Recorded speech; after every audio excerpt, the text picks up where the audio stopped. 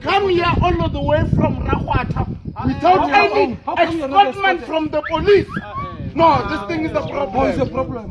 So, So where are the police? Where are the police to escort you here? Where are the police? Who escorted you? But where are the police to escort you here? Because the Mkoni, you are you are carrying votes of citizens here, and there is no police here to monitor this thing.